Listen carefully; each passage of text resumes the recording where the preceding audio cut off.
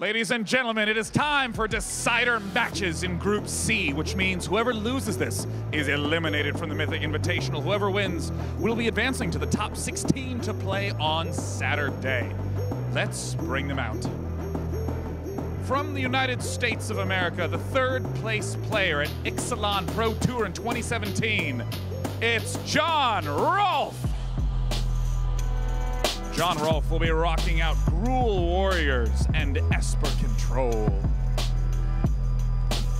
John Rolf's opponent, a man who's made quite the run in the lower bracket, the notable Finnish streamer, it's Savage. Savage is running one of our most popular pairings in the standard format today. It's going to be Mono White versus Esper Control. Once again, whoever wins is through to Saturday. Whoever loses is out. Gentlemen, good luck, have fun, shake hands. It's time to head to battle. Let's head back to Marshall and David for the match commentary. Thank you, Day 9. And uh, as the players get seated and ready, of course, this is our chance, David, to take a look at the matchup in the deck list and have you use your expertise to explain how things are going to go in your opinion and how the matchups end up playing out. Let's start with John Rolf. He's playing Gruul Warriors as his deck A. Primarily a red deck. You see signature cards like Goblin Chainwhirler, which is very intense on your mana, but also quite a bit of green here as well. Yeah, we watched uh, John Rolf earlier play this deck against Gabriel Nassif's Esper Control. Yeah. Uh, he didn't draw lands, so we didn't get to see a really competitive match, but I actually don't think that matchup is that great. Gruul Spellbreaker giving you giving uh, hexproof has hexproof on the controller's turn is a big deal because it makes your opponent play in their main phase. But I still think that's not that great of a matchup. I think he'd rather see the mono white aggro with that deck. Now he's got a sideboard. He does have Dire Fleet Daredevil. So in case he Dire Fleet Daredevil's a um, Mastermind's acquisition, he wants to have a sideboard available, but I don't think it's likely to come into play. I mean, that's such a corner case. But you might want to have, you, you do want to have one just in case that comes up. It's a why not type scenario. On the other side of the spectrum, though, is Esper Control, a much different build than we see from his uh, his deck A. This is deck B for him. Uh, anything stand out? This looks like a pretty standard issue build. It's pretty standard issue build, and, and uh, luckily for him, he's not up against Esper Acuity or Team of Reclamation like Gabriel Nassif had. Uh, he's up against Esper Control or Mono White Aggro, two decks. I'm sure he's practiced the matchup and he feels confident in his ability to play against both of them. So uh, he does have one Mastermind's acquisition in the main deck here, and that means that he'll have potentially access to any one of these cards out of the board. And boy, he has uh, everything covered here, I think.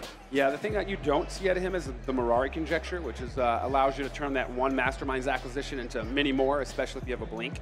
So by not having that, he only pretty much gets one shot at it. it Dude, like. patient rebuilding. Just the once, please.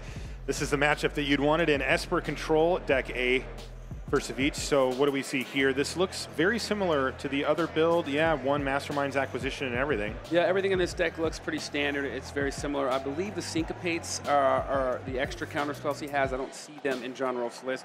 So having a couple, and the negate main, but I believe John Rolf has two negates. So he has one extra counter spell, four absorb for both players. So yeah, looks like uh, it's just going to be not drawing the dead cards is the key. Yeah, that is something that we've seen quite a bit. Here's the sideboard for, Savjz. Similar setup here, just a, a, lot of silver bullets against the different types of decks that you may face throughout the course of a tournament like this. Deck B, yeah, this low to the ground. Sideboard looks pretty much standard like most people. He does have the Mirari Conjecture, which allows you to get cute, bring back the Mastermind's acquisition, cast it twice in Chapter 3. Always fun to see that. Who was that, Ken Yukuhiro Ken yesterday? Yukuhiro. Was just going, hand. it was like, come on, Ken. Quit playing with your food. And here's Savjz's mono white deck again, fairly standard, 19 planes, all the four elves on the one drop creatures, the, the lords with Benalish Marshal, three unbreakable formations, and two conclave tribunals. I mean, this seems like this is the optimal build. build. This is what most players have kind of arrived at with their, their white decks. Taking a look at our head-to-head, check out our players here. Started back in 2005 for John Rolf. And he's got 10 Mythic Championships under his belt. He's even top aided. Yeah, only 1,168 arena games compared to Savjz. Savjz is a known online game player, has lots of experience there. I'm actually shocked to see 2,800. I feel it's kind of low to me for a player like Savjz. I'm very familiar with him. Started playing Magic quite some time ago, but no Mythic Championships. He's focused on other games until now.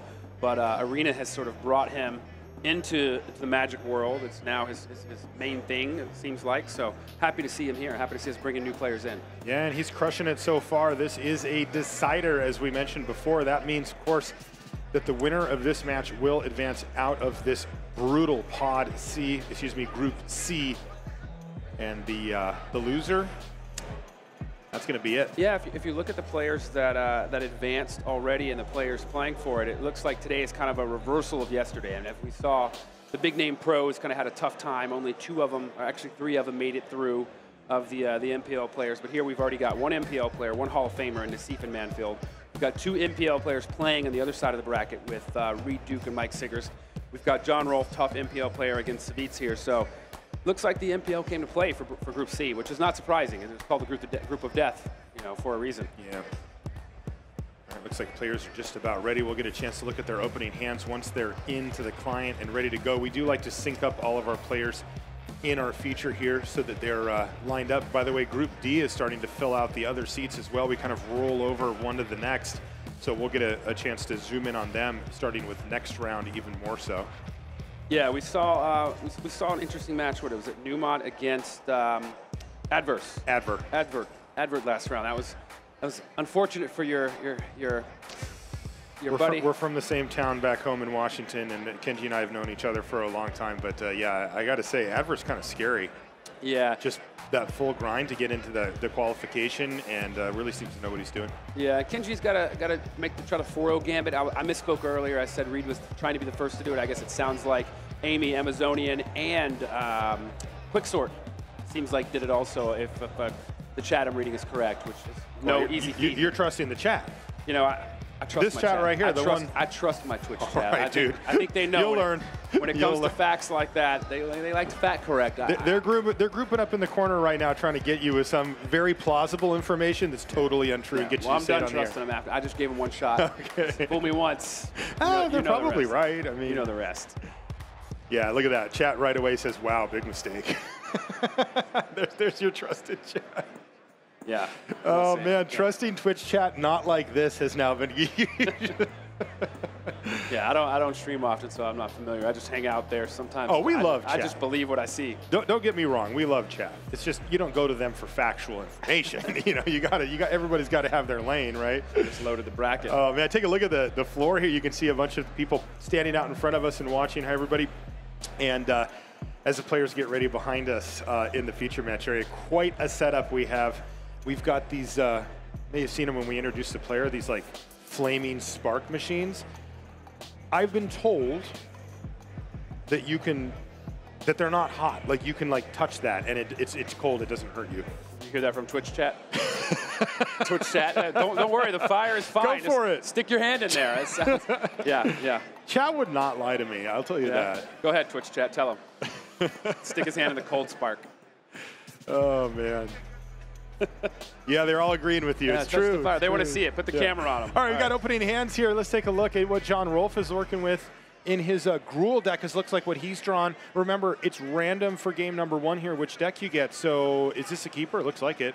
So we've got the Gruul Warriors deck on the draw.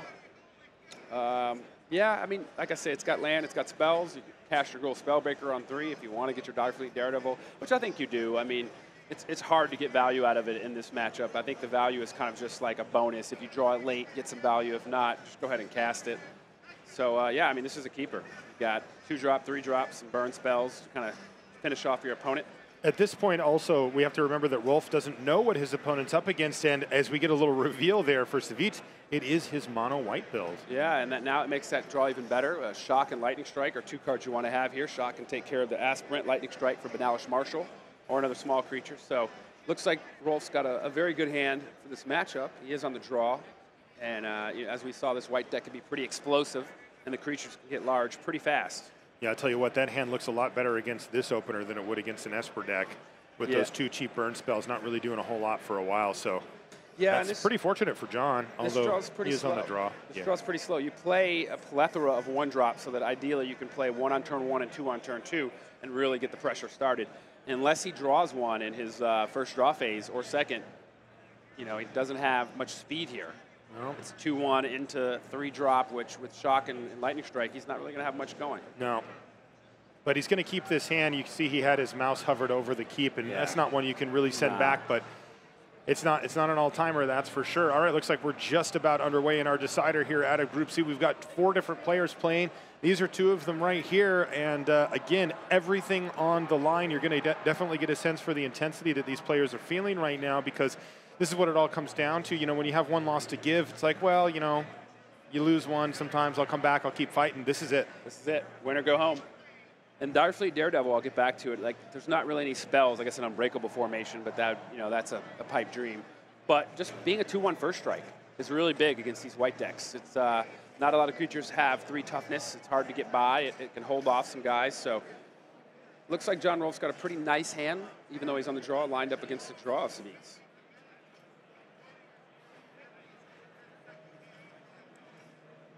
Savjz says, come on. I'm ready to put this aspirant onto the battlefield, start turning this thing sideways, see if it can go the distance. Yeah, Again, we're just uh, we're just getting everybody else uh, playing this round lined up so that we can make sure that the round timer is correct for everybody. Well- we do have a 45 minute round timer. And that's particularly important because this matchup means next matchup, next game, game two, Esper Control Mirror. hey, look at all the Magic fans out there. Esper Control Mirror could take a Yeah, while. wave at the camera. Come on. There we go. Everybody can now get a little little camera time. Yeah, so with the Esper Control Mirror for game two, you know, if this game takes a little while, that game takes a while, we could come down to, to uh, a really long match three, although I don't think the players would.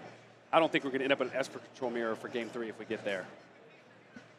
Yeah, that's something that uh, kind of interesting for this particular format, given the, the nature of the ability to actually go to time where normally Arena has a lot of safeguards where, you know, you, you rope, as we call it, you'll run out of time at some point. Anxiety rope is what I call it. I don't like that thing. How about when it starts getting kind of red and you hear the Well, dun dun? You don't really know, and it's, I like it because it's kind of a mystery. Like, there's not actually a number ticking down. So, like, how much time do I don't? It, it doesn't matter, buddy. Make a play. That's Yeah. what the system wants to tell you. Yeah. If it if it counted down, you would know. I'm just going to wait till one and make my no. Yeah, th- that's the version for, for you know uh, tabletop Magic players. That's the I need you to make a play. Yeah. the, the, the voice coming from over your shoulder. I need you to make a play. Oh no, I, I got to do something. And again, we're looking at the opening hands here, and uh, John says, "I'm good to go," and Both they are good to go, keep. and we are underway here. So we're going to kick things off with turn one, Skymarcher Aspirant here from Savjz, and he says, "That's all I got. Your move." This next draw step, by the way, from Savjz is going to be very important. If he can find a one or a two drop, that could really turbocharge this draw. If he doesn't, well, it's going to be really slow for him. I think we're going to go ahead and see this aspirant shocked here. Yeah, it looks like it's unbreakable formation is the draw step here. Honestly, not really what he wants to see at this point. He's going to have both of his creatures killed. He's going to be left with the Venerated Loxodon, and that formation is going to sit in his hand. Now, this game goes on for a while, that could be really good, but not with the configuration he has currently. Yeah, I think you're going to likely see a Dire Fleet Daredevil here. Uh, get on the board. He could hold up Lightning Strike so that end of turn he could Lightning Strike any potential Benalish Marshals and then untap and play a Gruul Spellbreaker on three. But uh, knowing that there's not any value to get out of the, the Daredevil really against the white deck, yeah, he's just going to go ahead and play it. Wow, another Venerated Loxodon is the draw step. So Savjz's hopes and dreams lay with this Benalish Marshal, and it is going to get snapped off by a Lightning Strike here. Get in for two damage. Yeah, I mean he's And he's kind of out of gas at this point. Yeah, he's going to go ahead and do it. I was going to say he did have a choice. He could have played Gruul Spellbreaker, which would have actually set him up to be in a bad position if Savjz drew a land, played a Loxodon to pump it up. Ooh, hello. This changes things quickly. Yeah, another Benalish Marshal off the top of the library kind of puts the ball back into John Rolf's court and says, Do you have another answer? Because if he gets to untap, find that land, all of a sudden we're going to see Venerated Loxodon hit the battlefield. Ooh, nice bluff.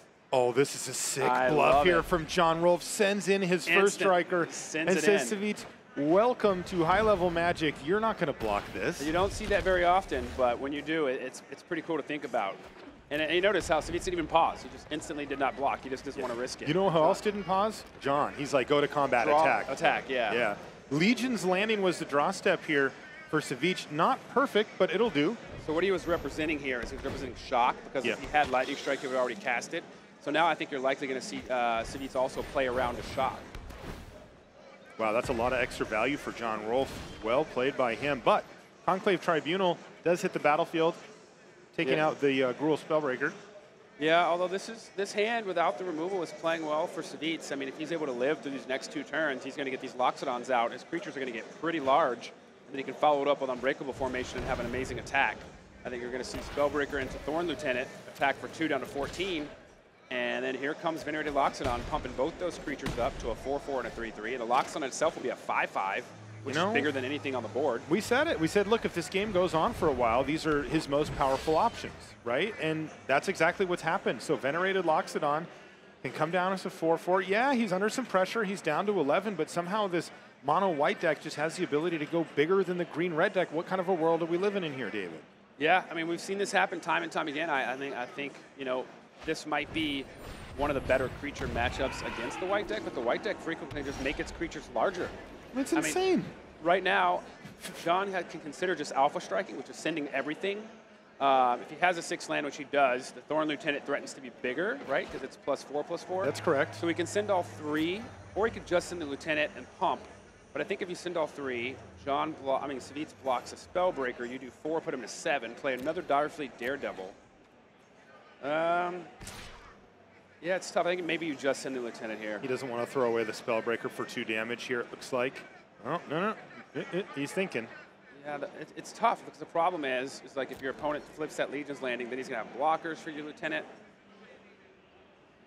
So it's just going to be the Thorn Lieutenant, and now he has to decide: Do I want to take the free two damage or add on an extra four? Wow. He says, "I'll take the four, put you down to five." Look how this is playing Last out. in there. P- possibly Savjz might unbreakable formation this turn. If he does, Dire Fleet Daredevil can uh, cast that unbreakable formation. Oh, and he even has enough mana to do it. Right, and then his creatures Whoa. become amazing. Oh wow! Oh wow! He's doing it. This is unbreakable formation. He's hovering over. Will And he- Savjz go he- for it and open this door? He is. And he doesn't have lethal. I mean, his creatures are bigger. But but John can just take this, right? John can take this, but unfortunately for John, though, even if he flashes back to the unbreakable formation, Savjz's creatures are still bigger. Yeah, like right now, look at Savjz's, look at John's creatures. Put a counter on them; they're still not bigger than a six, six, a five, five, and a four, four. Bang, bang, bang. Down to five, 15 damage from Savjz. And this is going to open the door for him to dire, for John to Dev- Daredevil. But Oh wow! Though he's going to tap. He's going to play this Loxodon. okay, wait. Does this open the door for a win? He's going to have one blocker back, uh, which will be a five-five. It can block the Spellbreaker, and he's going to have six, only six damage coming through. But he will be able to put his opponent into Lightning Strike range. Although the lifelink creature the following turn will take him right back out of lifelink range, and he'll have lethal. Well, they'll be un, untapped. But yeah, this is uh, it's cute, but I don't think it's going to be enough. So close here for John Rolf, but it is Savjz who is ahead and looks to stay that way from this perspective. So he chose not to tap the other Loxodon and leave himself two blockers, which is pretty smart. It's Goblin Chainwhirler off the top of the library. And remember when we said that was good against Mono White? Hmm, 666655555. I see why we don't call it white weenie anymore. It's just mono white aggro because these are not weenies. Look at these guys. These guys are enormous. I mean, green red is supposed to be able to put out the biggest creatures, right? That's kind of the name of the game for that color pair, and it is just getting soundly trounced by mono white in the creature department here. I think I might have uh, tapped the Loxodon and left the no, because then it would just be a four-four lifelinker. Yeah, he could have left the lifelinker up also instead of the the Loxodon. He thought about it. He did. I think he decided there's just no way this guy's killing me next turn, and I'd rather have a bigger lifelinker to crack back with or block with going forward. So here it is, Unbreakable Formation, exiled from the Dire Fleet Daredevil, and he gets to cast it now, but it somehow just doesn't look like it's going to be enough. Yeah, he could send all his creatures, which he does, but he's only going to get through for three damage here.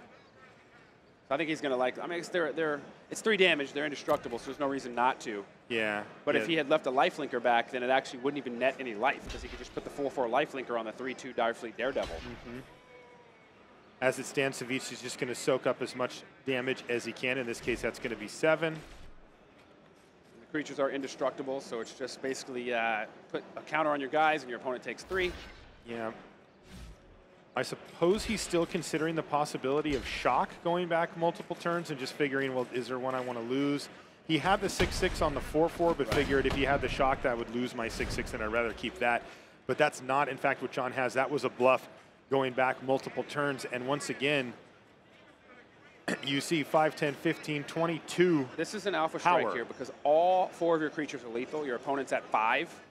Uh, I guess he is worried about maybe a block, shock, and then a, a kind of attack, and then drawing a lightning strike maybe. But like he could chump block everything, uh, put the five-five on a three-two, cast shock, which would first strike plus shock kill the lifelinker, lose three creatures, have a three-two back. But even so, you have a dodge till the first four. it. It to make gets, a- yeah, you're right, but it gets super interesting because of that play earlier where Shock is the card that Savjz is supposed to think that John Rolf has here. Yeah, but I think he may have realized that there's Yeah, no shock. no the, way, the way. way the game's played out, there's no shock. So I think we're going to see all creatures get blocked. Oh, this is an interesting play. First strike and take down the Benalish Marshal, which would leave Oh. the 5-5 that's unblocked only does 4.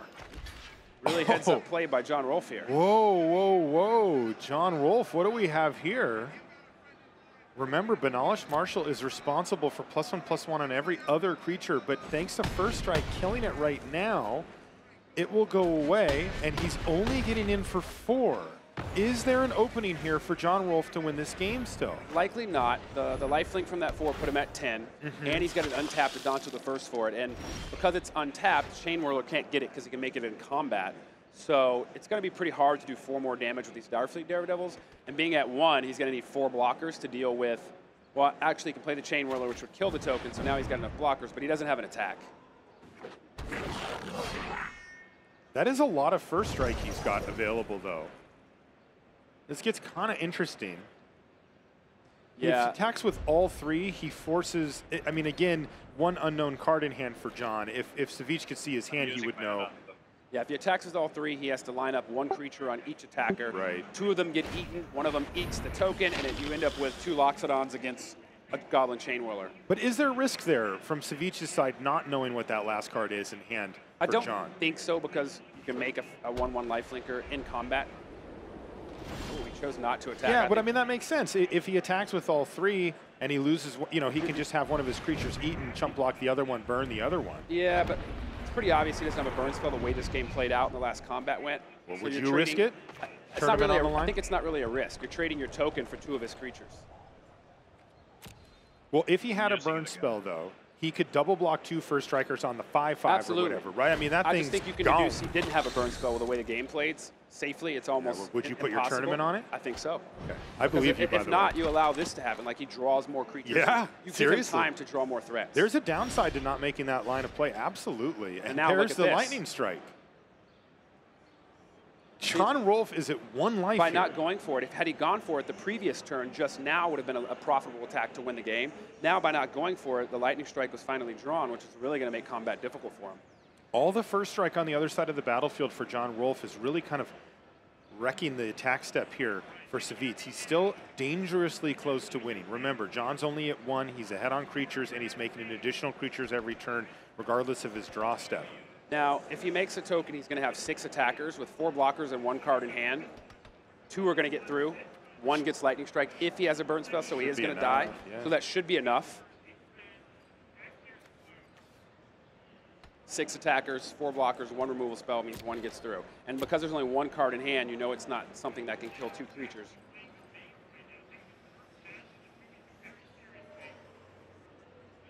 So I think he's thinking here he just wants to not misstep and not make a creature. He has to make sure he remembers to make a 1-1 life-linking vampire token, and that should be it. Perhaps a desperation attack here from John Rolf, seeing the writing on the wall. Yeah, he's thinking about it, but I, I think he sees there's no drawback to blocking the Loxodons on the 3-2s. I mean, your opponent's going to do that. He's, I mean, he's hoping maybe his opponent just takes it and he can lightning strike for the win because Right. he knows he's dead otherwise. Because I think he can be pretty sure Savjz is not going to forget to make a token.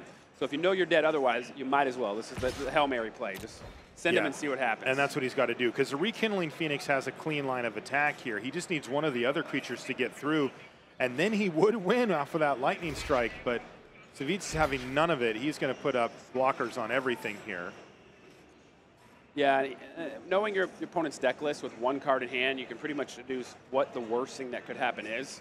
And just looking at it, you know, Collision Colossus could give Trample, so you got to worry about that. Oh, But that's a great point. That's an interesting one too. or, and if you had Collision Colossus on one of the Daredevils at seven, that's enough, right? Seven minus one, first strike, you take six and then four in the air. So he may want to rethink his blocks here. Yeah, I think that's why he, he kind of moved around, but I don't think there's actually a block that gets through that unless Yeah. you put all three of your one ones on the Dire Fleet Daredevil. But even then, it's going to be uh, seven minus three is four. You're, yeah, you're taking eight. So that actually would have been the block that did it. But it didn't work for uh, John Rolf. He is attacking in to knock him down to five, but he's losing the majority of his board, or half of it, I should say. And this is going to line up a beautiful attack here for Savjz to take down game number one.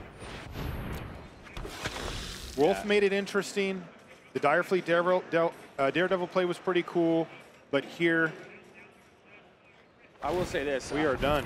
Even though John Rolf lost this game, I'm very impressed with his play, and I see why he's in the MPL. He, he played this game very well, considering what he had. Yeah, he's really smart. He, had. he gave himself the best chance to win. Had he drawn Collision Colossus there in that last turn, I think he would have actually pulled that game out.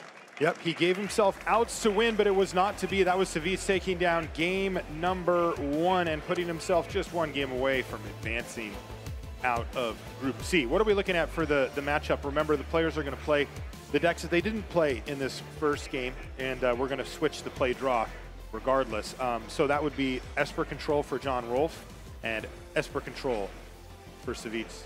Yeah, it looks like Savjz is actually better prepared for the mirror. He has two copies of Kaya, uh, one negate, two syncopates, whereas John Rolf doesn't have any. He has one Kaya, two negates, and zero syncopates. So one extra threat and one extra counterspell, which I'm assuming they have to 26 land or 24 land, so they probably somewhere between there, which means he has less dead cards because he has more cards that are relevant in this match. You know, less things like Moment of Craving. So let's see, they both have Moment of Cravings. No Cry the Carnariums for, for Savjz. Excellent hand for Savjz. Three lands. He's going to want some more lands. Two Teferis, a Syncopate, and a Search for his Azcanta. Wow, and a thought erasure as well to help clear the way a little bit, a little bit down the line for one of those Teferis. Things looking beautiful here. An equally uh, impressive hand for John Rolf. Uh, no dead cards. Absorb and Thought Erasure are both very important. Kaya and a Teferi. This Thought Erasure can help ensure that your Kaya gets through next turn. So thought erasure turn two here from John. tough choice here what to take. I mean, Search for Azcanta is one of the key cards in a control mirror, and he doesn't have a Mortify in hand or a way to get rid of it. So I think we're going to see that, which we do. But then now he knows he's going to get Thought Erasure right back, Probably take away that Kaya. leave himself, leave him on a five drop and an Absorb. An Absorb is not a proactive card, so he has no worries there. So I think we're going to see Kaya taken.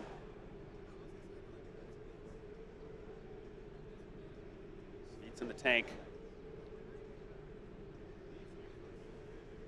I don't think you want to leave a Kaya because even though it's a little slow, it's still going to gradually gain an advantage. Uh, exiling cards from your yard, I mean, if you do get another Search for Azcanta, it won't really be able to flip. Uh, eventually, you'll have to deal with it. If not, that ultimate ability can, can really cause some problems for you in the late game. He, he could take the Teferi, leave him with no threats, or even the Absorb to kind of ensure that he can resolve a Teferi of his own, assuming uh, Rolf doesn't draw any counterspells in the next few turns. Really tough choice here. Yeah, Kaya's the most immediate threat, but she doesn't I like the necessarily Kaya. win the game. I like the Kaya because you just keep your opponent, you know, not doing anything right now. Now, he went for the absorb, saying, you know what, I'm just going to cast my uh, Teferi in a couple of turns and get rid of Kaya anyway, but boom, negate right off the top of the library there from counterspell John. right back. That Hello, friend. And of course, he does get to resolve Kaya Orzhov Usurper and see if she can uh, take over the game going forward. Again, from the immediacy standpoint, not super insane, but uh, but she is a problem going down the line. beautiful. The Surveil uh, allowed him to put a Thought Erasure right back on top, so he can go in and get either that Teferi or the Negate. Um, you know, we could see him take the Teferi here because he's got two threats that need to be negated. But his opponent doesn't have a fifth land, so he goes in and took the Negate because if his opponent resolves the Teferi, he can just play his own Teferi and tuck John Rolf's Teferi. He's going to go ahead and put a, an Absorb in the graveyard because he doesn't have his fifth mana. He's got two mana and play two in hand. I think he wants to make sure he hits his land drops. He's decided he's going to be playing kind of tap out blue, it feels like, you know, once he gets to five mana. So holding up for Absorb is not where he wants to be right now, especially after he knows his opponent's hand. He's going to have Syncopate if John Rolf decides to tap out for his Teferi on turn five. Even though, although John Rolf knows that, and if he plays his land next turn, John Rolf does know all of his hand except his draw phase. Another land off the top of the library there for Savjz. He's going to play this land tapped and pass the turn back. The syncopate looks a lot worse when your opponent knows about it. They can play around it at their leisure. See, he did not walk into the syncopate yet. I mean, at some point, you're going to have to get that syncopate out of your opponent's hand, but I don't think he wants to put his last business card and then be left with nothing. Now, Savjz knows his opponent only has Teferi and Swamp. Excuse me, not Swamp, just Teferi and Random card. He can play his own Teferi here. It's going to untap two lands, which will allow him to syncopate for one, but John Rolf will be able to play a land and cover that syncopate for one. So he can play his own Teferi and tuck Savjz's Teferi. Wow. Negate's a good draw, but he doesn't have enough mana. If he decides to tuck, it won't untap two lands, and he won't be able to cast a negate. But if he does play a Teferi, he has to tuck Savjz's Teferi, or Savjz can just do it right to him. It's kind of a forced play here when you're playing Teferi against Teferi. Yeah, I think we're going to see minus three. Put Savjz's Teferi below, but he knows Savjz has another Teferi, so maybe that's why he's just going to draw a card. Doesn't oh. accomplish much if you know your opponent has one it's just pretty unfortunate that uh, Savjz can just put John Rolf's right back in his deck.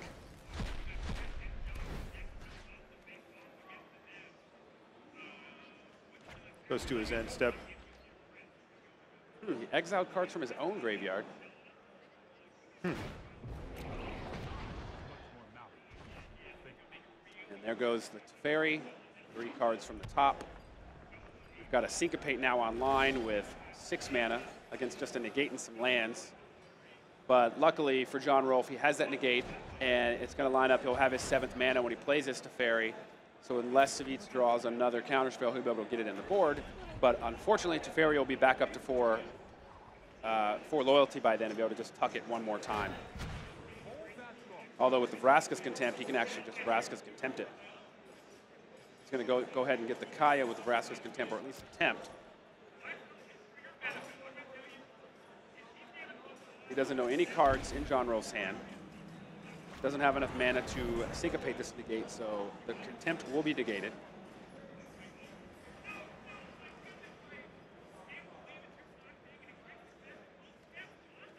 Love the art on the, the card style on the Vraska's Contempt. Ooh, so it cool. looks really nice how it's all blacked out and then just the artwork is kind of super highlighted there in the middle. Looks fantastic. Love that. Also not a bad effect in the game of Magic the Gathering as we see it taking out a pretty strong card. Planeswalker. Pretty yep. strong card.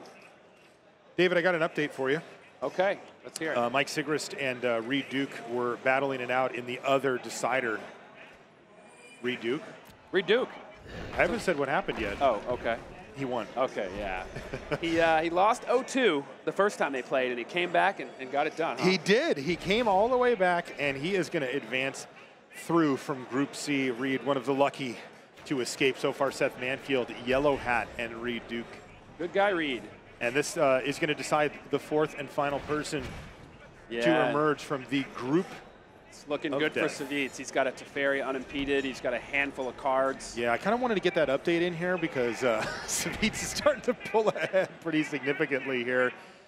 And really? now John Rolf has to decide if he wants to fire a negate off on Mastermind's acquisition. He says, yes, I do. Really impressive showing by Savjz. I've been impressed with his play here. I you know, agree. Coming from another game, not one of the known Magic pros, and he's been he's been hanging, hanging with them, playing well. Big fan.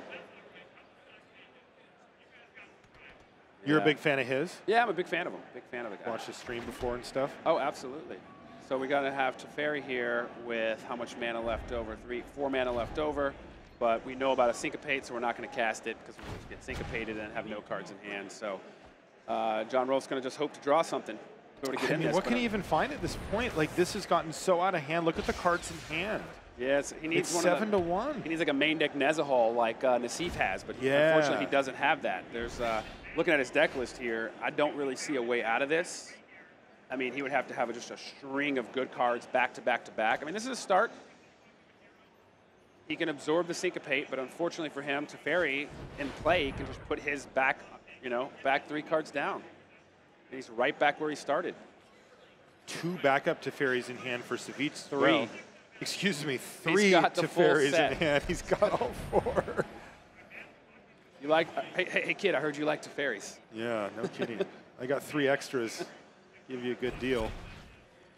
So, So a little bit of a counter fight here. Syncopate on your Teferi, absorb back as you described, David, and that does let So this is John brutal. Finally resolve a Teferi, but it's Sigh of relief. John Rolf's going to tuck his Teferi, I imagine. Nope, still not going to do it. Just going to draw a card, try to get back in it. And he doesn't know that there's a handful of Teferis, No. so he could tuck it, but Savjz, although with the Chemister's Insight, Savjz could just draw his draw phase and then Chemister's Insight, draw those two cards and get his Teferi back, replay it, tuck his, so that plan's not going to get you anywhere anyways. He's just got to hope. Yeah, he looks like he's going to minus Teferi on the other Teferi here straight away, but he's reconsidering it. Yeah, I think when you're in a commanding advantage like this, that's the only way your opponent can get out of it is by having their own Teferi go nuts. So go ahead and get his off the board. Oh, and he's going to play another one. Basically, he's paying five mana to put three loyalty on his Teferi because the Teferi he just used is down to two, and this allows him to put it back up to five and get a card. So he just paid five mana to put some loyalty on his Teferi. Real heads up play. Not a lot of players are kind of would waste a Teferi in that sense, you know, but holding four of them total, three in your hand and one in play, you might as well. Yeah, it's, it's a resource you can afford. Moment of craving, stone blank, get rid of that, turn it into two more cards. Ooh, and there's a Kaya as well. Yeah, this one has really fallen away from John Rolf, and you can just see it. I mean, John Rolf's hand is effectively zero cards. Kaya's Wrath doesn't do anything in this matchup at all. And if you look down, sure, there's a few blanks in hand for Savjz as well, but for the most part, he is the one who's got things rolling thanks to the two planeswalkers on his side. And this is where things snowball. Like, it's not getting better from here. There's no big swinging play right now in standard where John can be like, I drew exactly the thing I needed and I'm right back in this because he would need a card that killed both planeswalkers and drew him like five cards, and they don't print them like that. Yeah. Planeswalkers are hard to catch up. So Yeah. if you like Planeswalkers, War of the Spark. There you One go. in every pack. There you go. One in every pack. Yeah, and this this is just a part of the play style, the play nature of Planeswalkers and Standard is that they really do demand answers quickly. And in control matchups like this, Planeswalkers are designed so that you can attack them with creatures, and that doesn't happen here. So you need specific answers at specific times, and if you don't find them, they get completely out of hand. And Savjz is no stranger to that right now as he's looking down, dominating the board with uh, Kaya and Teferi. Yeah, John trying to navigate his way out. I'm sure he's thinking of what sequence of cards he needs to draw to give him the best chance. As we saw, he did that last game, so it's clear that he's a, a very thoughtful player. Trying to figure out a way to wiggle out of this. Not easy. And it ain't getting any better here either. So once again, the Teferis are fighting each other. By continually playing his Teferi and forcing Savjz to tuck it, though, he's keeping uh, Savjz's Teferi from getting the eight loyalty. Because once that emblem is there, there's no catching up. Right. There's a couple of different ways that this game could end. One of them is that make a, an emblem, eventually exile all of your lands, and then do the thing where you target Teferi with his minus three ability over and over again, so that you don't get decked and your opponent does. Once you have no more cards in your library, if it's time for you to draw a card and you can't, you lose the game. That's just how it works in Magic. On the other side, there's also Kaya. Mm, She can do a lot of damage over the course of the game. Yeah, it's adding up. Let's see, it's ticking up. Now, he finally drew an absorb, so he can absorb um, John Rolf's Teferi if he does play it, which will save him from having the minus three and tuck it, which will allow him to creep towards that eight loyalty needed for the ultimate. Ooh, and a search for his Cant is just what he wants. Yeah, it's funny because uh, Mortify was kind of rotting away in John Rolf's hands. He's going to find a target for it, but I believe that Savjz will fight over this. Maybe not, uh, We'll find out. because you, you do want to stop your opponent's Teferi so that you can eventually get your Teferi emblem. Yeah. I'm not Yeah. going to lie, though. I think it matters. You know what I mean? Like, if he decides to fight over this, if he doesn't, Yeah, he's just in such good shape here with this absurd hand. He's going to go ahead and let it resolve. He's got six spells and a land in hand versus two blank spells from John Rolf, and still has the Planeswalker train rolling here as well. The Teferi we were waiting on, and the absorb we held for it. Now, That was a key moment, by the way. Th- th- that was the turn right there where this game well and truly is done now. I, you know, absolutely. John, John was still in there, at least scrapping around Well- with the Teferi, but this game's over. I mean, it's been over for a while, but that was a, big turn to allow it to end faster. But Can I, can I call out the final nail in the coffin? Yes, but if he didn't draw the syncopate here, I mean, Rolf, John Rolf still had outs. He could just draw Teferi right here and tuck that Teferi, and we're right back where we were.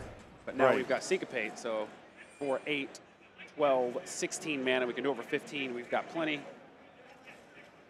And I say we as the player who uh, is- that's on right now. What's wrong with John Rolf? Absolutely nothing. You know, because I was going to say we're not doing too good here, David. we're, we're, we are getting smacked around by two planeswalkers, and this one's not going to end well. And here we go, plus, plus, plus, plus, and then eventually we will see an ultimate here. In fact, next turn, Thought erasure just to make sure there's nothing going on, but you can be pretty certain of it the way the game's played that your opponent doesn't have anything. Yeah. He doesn't even want another thought erasure. it's a good place to be. Exile the card you removed. So now we have two planeswalkers on ultimate. Just a cool 18 loyalty here. I believe Kaya's on double ultimate, right? It's minus five. You can mm-hmm. whack them twice. Thought erasure, gonna see these fairies. And that is going to do it. Savjz earns the victory and earns his way out of Group C. Wow, well earned by him, by the way. That was not easy. He had to work his way through some of the best players in the game's history, and he has done so. So, Savjz is going to be one of the only four players here out of Group C to actually make it through. He's going to join Reed Duke as well as Seth Manfield. And who was the last one? Gabriel Nassif. Gabriel Nassif, yellow hat Two himself. MPL, two challengers, one of which has an asterisk because he's a Hall of Famer, one of the best. But Yeah, yeah. still, pretty sweet to see uh, a nice mix coming through the group, not just all the big name MPL members. It shows that uh, Yeah. you know, a lot of these players came to play. We have seen that pretty consistently over the course of the weekend as well. Challengers are here to battle, man. They are like not it. making it easy on the uh, the kind of the old guard, you know, the the staunch uh, players that we've had for so long here. I'm rooting for him. yeah, am. yeah. It It is fun. I mean, who, who can resist an underdog story, right? Absolutely. good, yeah. Uh, of course, that means that Group C is finished. That's it. We've got our four players. We took 16. We eliminated them down to four, and that leaves us just with this last Group D, which, again, it's already underway here, but now we're going to be focusing on Group D and seeing who's going to emerge from that. The four players that finish from that, that's going to be it. That's 16 players. That's your top 16 for the tournament. We went from 64 to 16 in just two short days. That's how it works in a bracketed double elimination tournament that we're running here at the Mythic Invitational. And uh, I don't know about short days. yeah, okay. Players played. I bet you asked the I lied. players, was it short days? They're going to say no. I'm What, tired. what about us? We had to cover And- two pods. Uh, our job's easy. We get to watch good magic. Way less taxing than playing those matches. Yeah, if you say so.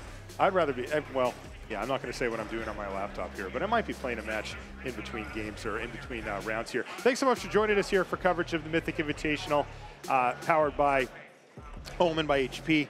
I'm Marshall Sutcliffe. That's David Williams. We've got a great coverage crew here to uh, to join uh, to bring you all the coverage and the action here from everything. Right now, though, one of them, Becca, is with our winner.